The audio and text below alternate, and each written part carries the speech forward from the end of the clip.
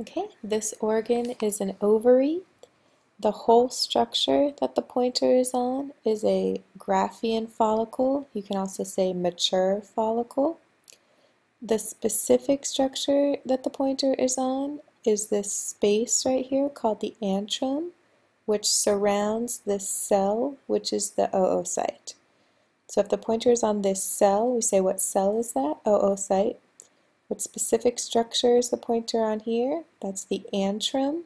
And then what is this whole structure that the pointer is on? It's a Graafian or mature follicle. And what is this whole organ? It's an ovary.